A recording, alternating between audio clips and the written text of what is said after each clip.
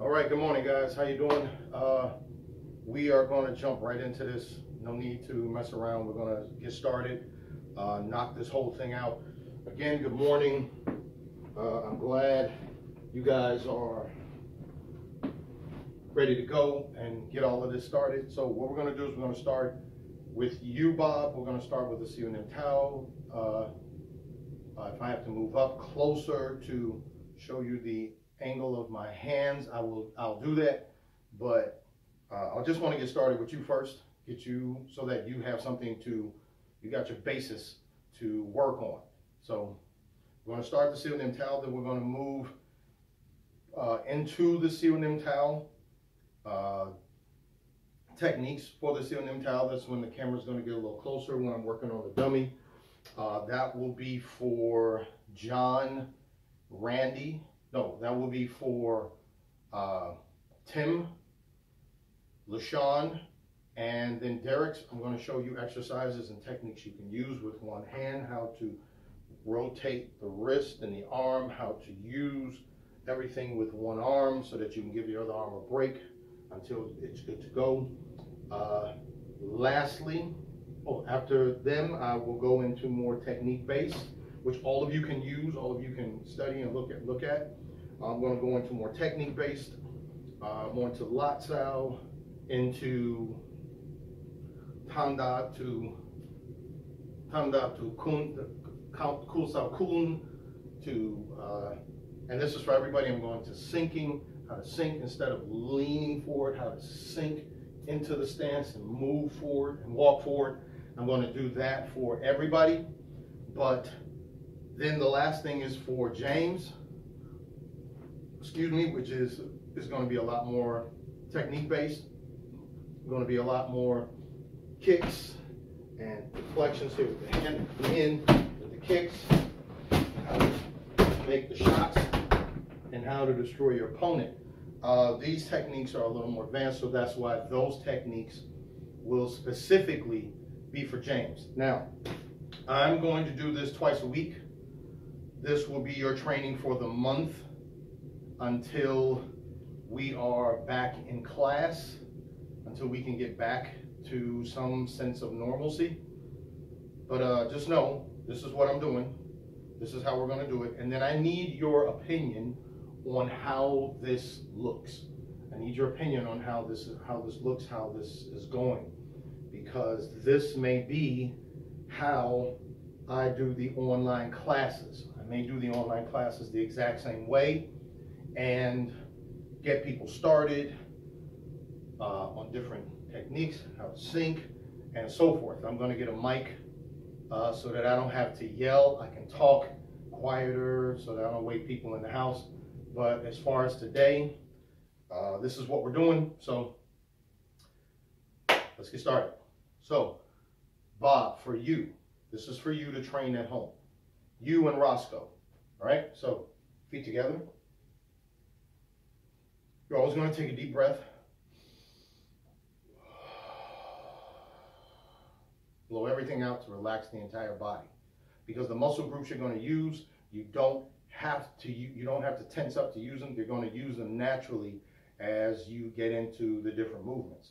So you also, after relax, taking a deep breath, you want to mentally tell yourself to drop all of your body weight. You just want to say, you want to say to yourself, drop all your body weight to your feet. Drop all of your body weight to your feet. You know it's working when your feet start to feel heavy because now your weight is pushing into the ground and that's how you want to establish your root. All right? You want to establish your root and that's very, very vital because if your root isn't established, then when somebody hits you or pushes you, they can uproot you easily, right? So back to it.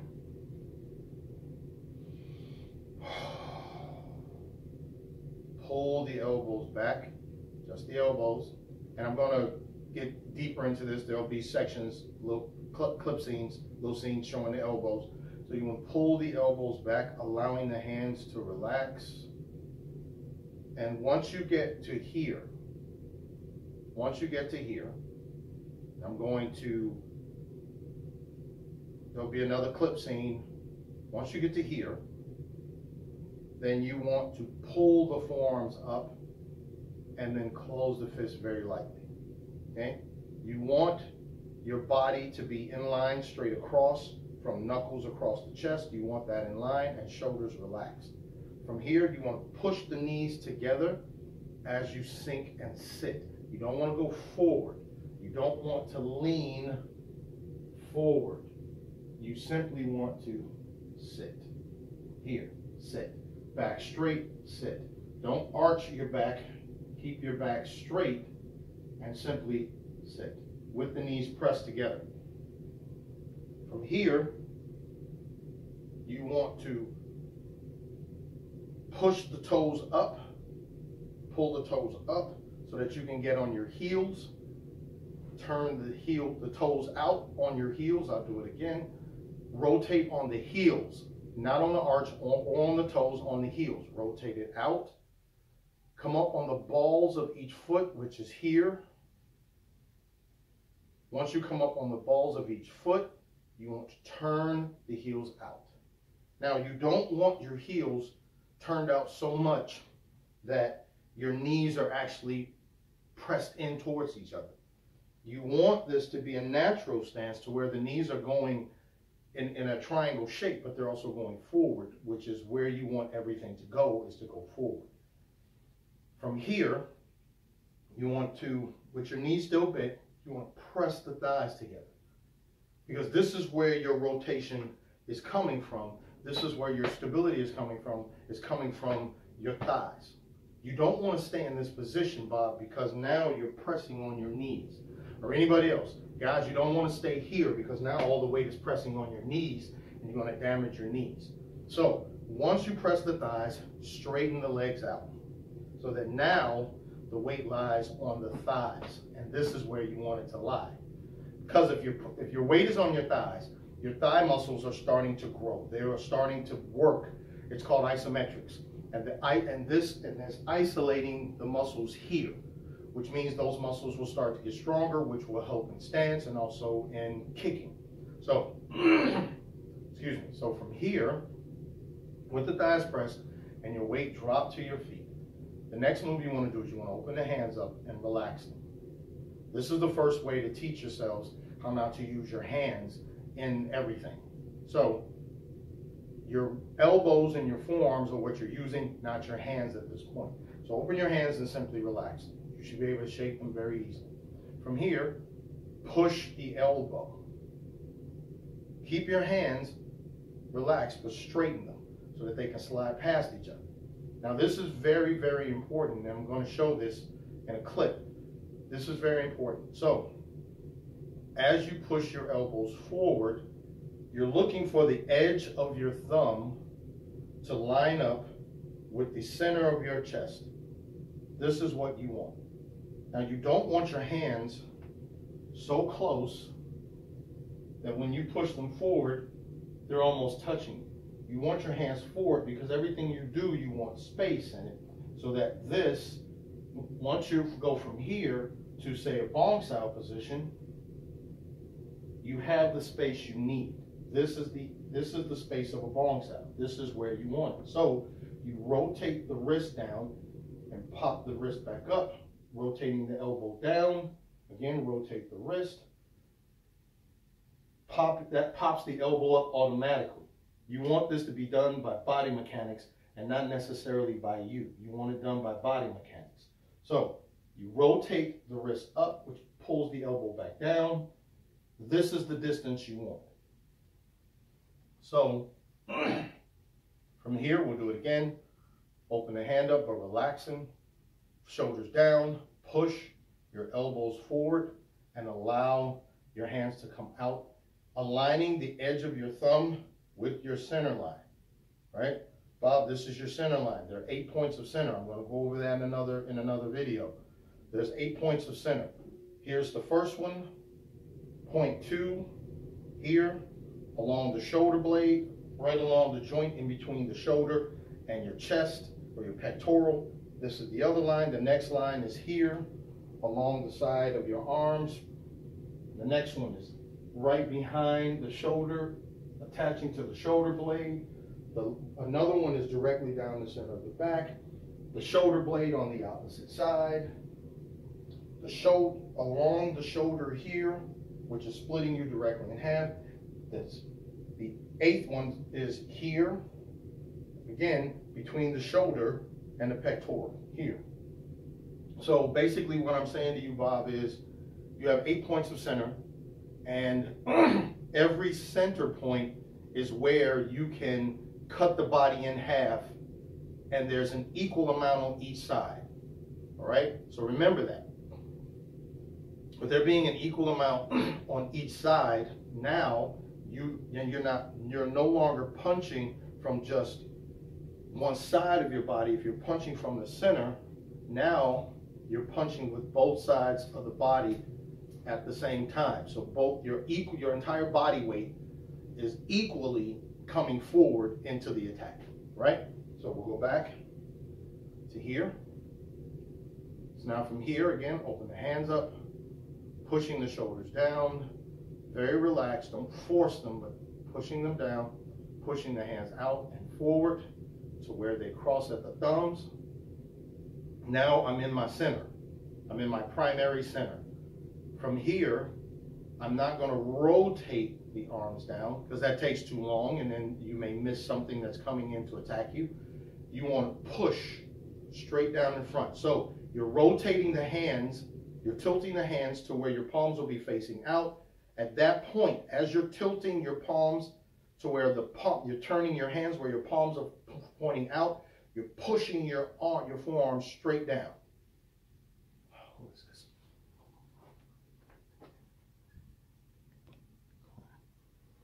this?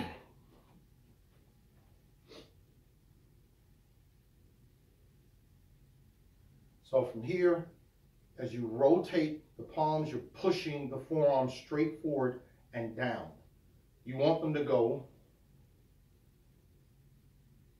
in almost a 30 degree angle, straight down in front of you. As you're pushing them down and rotating your hands, you want to lock the elbows.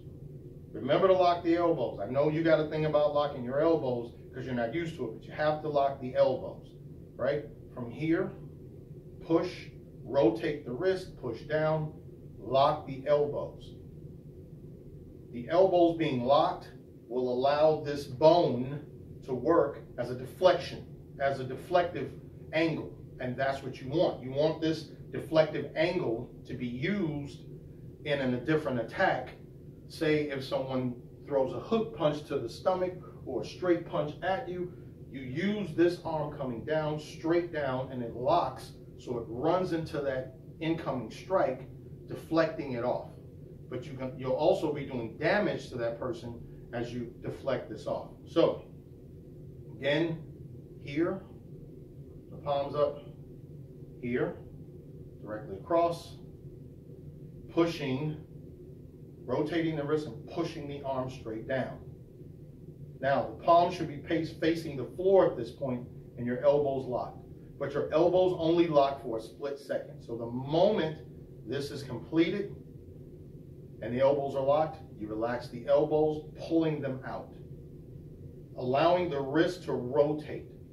Your thumb being bent throughout this whole throughout this whole technique, the edge of your thumb should rest up under your wrist. So that now this gives you an idea of where your rotation point is at. Because you're going to rotate these hands back up. All right? So again, one, two, and now open the elbows up. After locking the elbows, the thumbs are pointed down. The palms are pointed almost vertically away from you. They're almost pointed away from you forward. So that allows the thumbs to lock. Either which arm you have on top, it doesn't matter. This still allows the thumbs to lock. So once these are locked and the elbows are open, you rotate the bottom hand up along the forearm so that it comes back up. The bottom hand rotates under the arm, under the top, under the bottom arm. The top hand rotates under the bottom arm, under, and back up to the starting position. So if you started here with this hand on the inside gate and this hand on the outside gate, which means the gates mean the position in which your hands are. The closer to you it is, is the inside gate. The further away it is from you is the outside gate. Anything on the outside of your arm is called the outside gate. Anything on the inside of your arm is called the inside gate. So, again, if once you rotate the wrist and push the forearms forward, locking the elbows, now the elbows relax, open up, the palms turn slightly, aiming towards the floor in front of you. Now you rotate this hand, the bottom hand, up on the inside of the gate, and the top hand rotates along the outside of the gate, back into the inside gate, and now takes its place as you pull the elbows back down and a start, go back to the starting position. Right? From here, pull the elbows back to here, back to the starting position. Now, next movement comes with the kun, with the with the straight punch or the kun sao kun. So this starts by pushing your elbow forward. The elbow should rotate down as your hand slides directly in front along your center line. Again, you're using your wrist here as the point of understanding where your center line is. Your wrist should always lie in your center. Not your knuckles, but your wrist should lie in your center line. Because now, as your wrist is aligned in your center, once you straighten out this arm, your knuckles will be in your center, and that's what we're hitting with. Not with the tops of the fingers, not with the base of the fingers, we're punching with the knuckles. And we're always punching with the lower three, not with the top, the lower three. And the reason for that is that when you look at your hand, the bottom three knuckles align directly with the bone from the wrist. They line directly. So you want direct bone alignment all the time throughout this system. It should never be anything that's off. It should always be bone alignment. That way you're hitting with one solid piece and not two or three separate pieces. All right? So, again, pushing the hand forward, align the wrist, and your hand closes slightly. You want to aim the fist where it's going. You never want to just have it limp. You want to have it structured so where it's going, it's aimed where it's going. Right? Everybody else, things will move a little faster because you all already know this, but we got to take this time with Bob and Roscoe. So from here, you want to push your elbow, but aim your hand exactly where it's going. So you're pushing the forearm forward by pushing the elbow.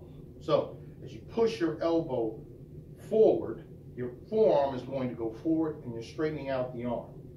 Now, once you push the arm forward, your fist should close as it travels. So as you're pushing your hand forward, Imagine something running into your hand every time you get closer to the completion of this punch, and now your fist is completely closed. Right? So it's not closed from this point to here. It closes as it travels. And this is simply this is simply to teach you how to how to execute an explosive punch. And at the end of this, once the elbow locks, the hand relaxes, the hand opens up. And that's so that you can go into other techniques. You can punch and stop a strike. You can punch and go to another strike directly without having to punch and then think about opening your hand up to do something else. This becomes automatic, right? So again, from here, from a center line, at least one fist length away from your chest. You always want to start a fist length away from your chest. I know it's going to be a little difficult to think about how you generate power, but the more comfortable you become with launching things from your elbow, the easier it will become to launch all of this from your elbow.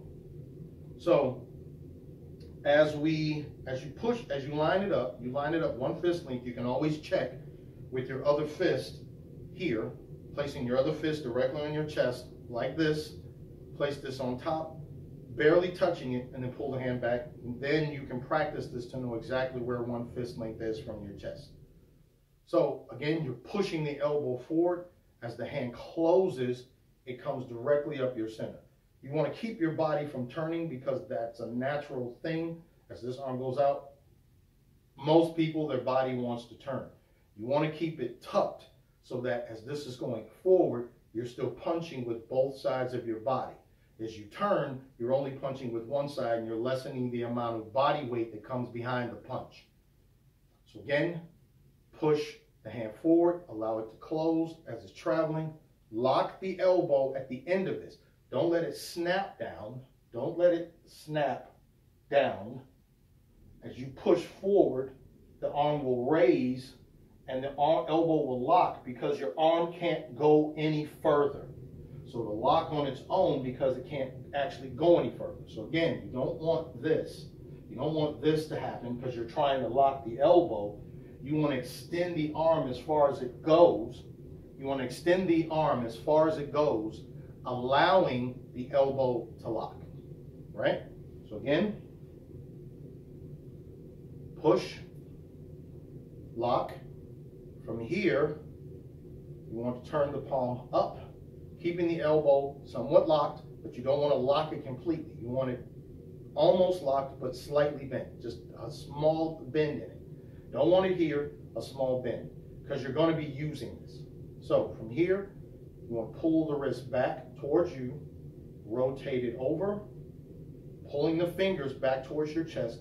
Once you get to this position, once it's at an angled position where the knuckles are pointing towards the floor and not towards the wall, ball your fist up. Because now you're building up the forearm muscle, which is going to allow you to hit harder, right? Remember that. Building this up so it hits harder. So from here, as you pull the fingers back towards you, you ball the fist up, and now you're rotating the wrist, not the forearm, but the wrist, in a circle out, which now your elbow is going to lift up. Very, very important point on this. As you're pushing your fist forward, your elbow needs to be pointed down, not out, but down. This is the natural way your arm position is.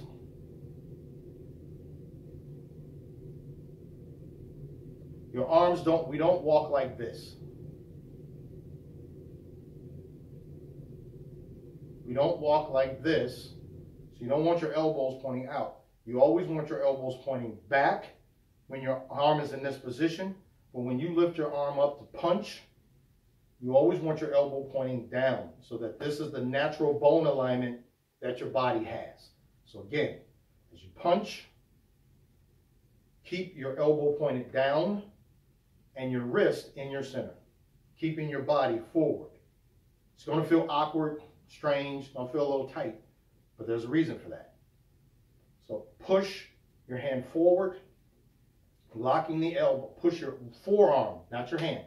Push your forearm forward until the arm locks automatically because it can't go any further.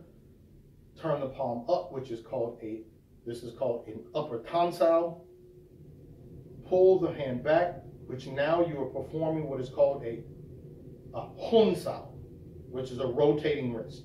So from the tan sao, pull the fingers back towards you, rotate the wrist around, counterclockwise, right? Not clockwise because you can't do that, counterclockwise, with your wrist in the center. Ball the fist up to activate your forearm muscles, rotate it out, keeping it, keeping your fist closed. You can't tighten it and close it, but keep it closed. From here, you rotate the wrist out, back to center. Now your bones, your three knuckles are aligned with your forearm. From here, drop the elbow and pull the wrist back so that it aligns back again along directly up under your chest plate. Because between from this center line here up under your chest plate, this is where your solar plex lies. Your solar plex connects every nerve in your body at this center point. If this is hit effectively, your body is shut down. You're going to the ground. So this is something you're protecting, as well as you're protecting your lower intestines which all line the center. You're protecting your nose, your nasal cavity. You're protecting your mouth.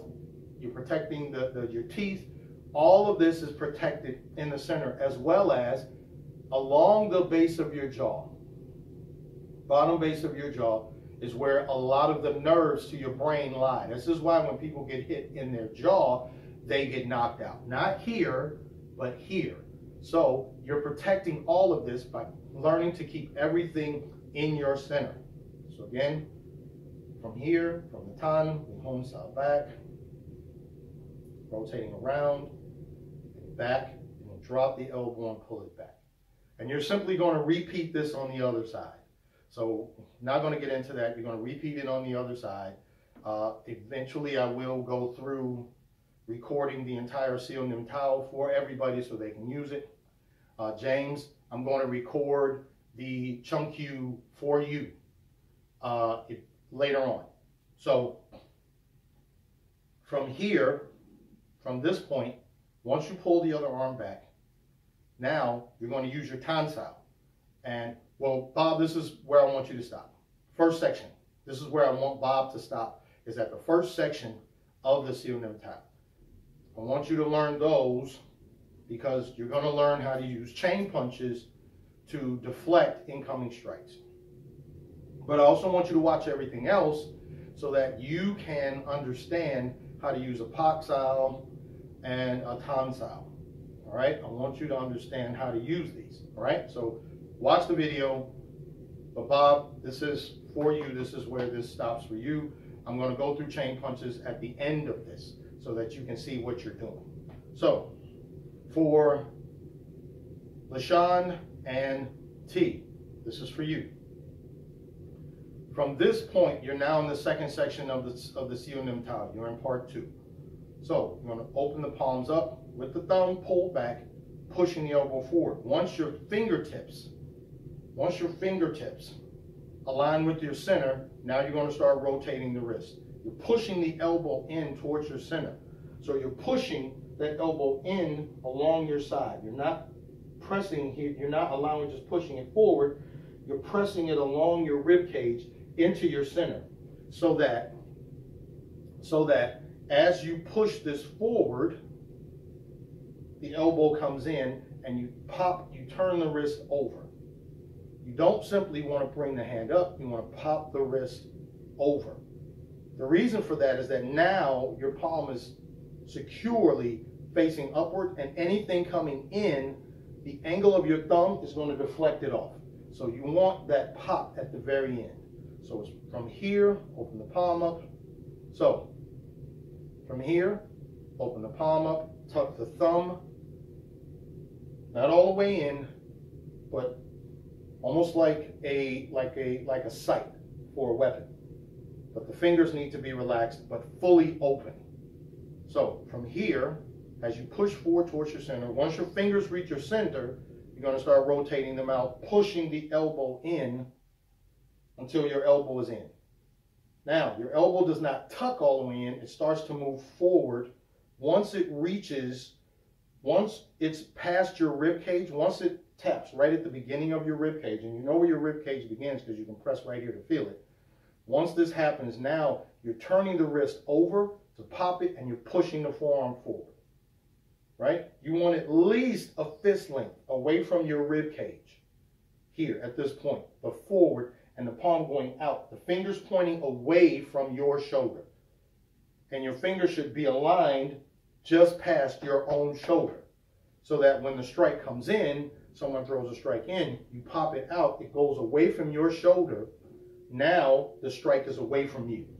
All right? Very important point. Tonsills are only to be used for close range hook punches or close range punches. If you're already engaged in a fight and they throw it very quickly, that's when you want to pop that out and shift off. But we'll go into shifting in another class. we'll go into shifting at the end of this. So I need to speed this up. So again, from here, tan sao forward, pressing the thighs, sitting, everything else relaxed, and LaShawn, you need to push this weight forward. You need to push these arms forward so that your weight comes behind you, right? I understand you're thin, but that's no excuse. You still have body mass and weight you have to start using, so you have to push these arms forward. So, again, once the fingers reach the center, you want to push forward, tweaking the wrist as it starts to come up. Now, from here, pull your forearm over into the center, where your wrist is now in the center. And now from here, pull your wrist back, creating a hook sow, creating a home sow, but you're pulling your wrist back. As you pull the wrist back, you want to drop the forearm at least two inches. Why are you dropping it from anywhere from an inch to two inches? Because as the strike that you're having is coming, someone's having a strike come in, as you hit here, you need to pull the arm down, not with your hand, but with your forearm. Not with your hand, but with your forearm. So that now you're on top, so that as you rotate out, you can go inside, right? So again, from here, pull it over, rotate it back, drop it down with the forearm and the elbow. Pull the forearm and the elbow down, rotating out, pushing the palm out because again, you're pushing that arm out, all right, so that you can come in for the strike under the arm while the arm is still on the out, outside gate of your arm. So you push, you rotate this out, but to get back to our Mansell position, which is the primary fight position, you want to rotate this wrist up, pressing the fingers in as you push the arm towards the center, again, and now push the arm forward. You want, again, your wrist in your center. Guys, it is vital. Have your wrist in your center, not your hand. Your wrist. So, as your wrist comes forward, it should be slightly bent to make a triangle. Remember, triangles are the primary shape in Wing Chun. There has to be a triangle in virtually everything you do. So, you want this, tri this slight triangle shape from your wrist to your shoulder, down to your elbow, to the bend in your elbow back. So from here, from the Mansell position, which is your primary line of defense, your primary line of protection. Get out of that word defense. Your primary line of protection. You pull the elbow back, rotating, rotating the wrist up, pulling the elbow back. Not the hand, pulling the elbow back until your bicep touches your pec. Once that's done, you stop. Here's your position. One fist length away from the chest, this is where you stop. A little over a fist length so that it still gives you room to launch an attack, but you're safe here. From here, you want to drop the drop the wrist very relaxed and pull the fingers back towards your back towards your chest, keeping your wrist in the center, which is now the Fook Sao with your Fook this is the part of the hand, this is the part you're, you're striking with, is the back of the palm. So you're going to push your el your wrist, your, your elbow in towards your center until again you're one fist length away. Your elbow is one fist length away or one inch away from your from your rib cage, keeping your elbow tucked and your wrist in the center. Again, from here, drop, rotate out, all the way in, pushing the fingers back in as you push the hand forward. All right? You're going to do it again. Go through it, pulling it back, rotating the wrist up, pull the hand back, drop, pull the fingers back towards you, pushing the elbow in and out. Now, from here, you're going to from here you're going to press down, rotate around, out, and back up. At this point, you should be feeling this in your shoulder, but this is building up power in your shoulders. Every muscle that you're using now, you're building up power so that you can generate more energy. So again, from here, you're to pull the wrist, rotate the wrist up so that the fingers are pointing up and pull the elbow back, stopping one fist length or an inch and a half from your chest. Now from here, you're going 30 degree angle. So you're going to push the elbow, not the wrist, but the elbow across, keeping the elbow bent and keeping your hand even with your shoulder, right? pushing it across. From here, this is the Sao. and you're pushing across so that you can knock anything coming in, the, or uh, the direct punch coming in, you knock, you pocket out of the way, deflecting it out of the way. You don't want to go across your chest because that keeps the person too close to you. You don't want to push all the way out because now you're pushing them too far away from you. You simply want their hand out of the direct line of fire for you. So again, from here, you push the elbow across, pocking. Now from here, you pull the palm back towards the, towards the center of the chest, and this is going to be a straight palm strike. So basically, it looks like this. If this punch was coming in straight towards me, I would pocket out of the way here so that I could strike over the top because you always want to go behind your own hand. Remember, as you're crossing your own hand, remember guys, this is the bridge. You always want to create a bridge, and anytime you touch another person or touch an object, doesn't matter what it is, you just created a bridge. You want to cross that bridge behind your hand. You don't want to punch here and then try and punch in front of your hand because you just defeated the purpose of knocking this arm out of the way. So if you pop this arm out of the way, you want to come behind the bridge. Again, punching from your center, right? So the purpose of this is to pop the arm out of the way because you're training each side of the body now in the very beginning.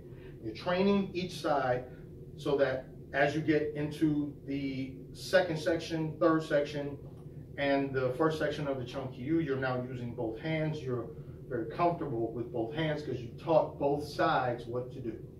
All right? This is the purpose for training one side at a time in the beginning of the in the beginning of the Nim Tao, is so that you become comfortable doing this on both sides, so that when it comes to using both hands, this does not become uncomfortable. This isn't uncomfortable. It's not something that you're unused to, that you're not used to, right? This becomes very easy because now both sides are very equipped with using the different techniques that you're already become comfortable with, right? So, just to explain it again.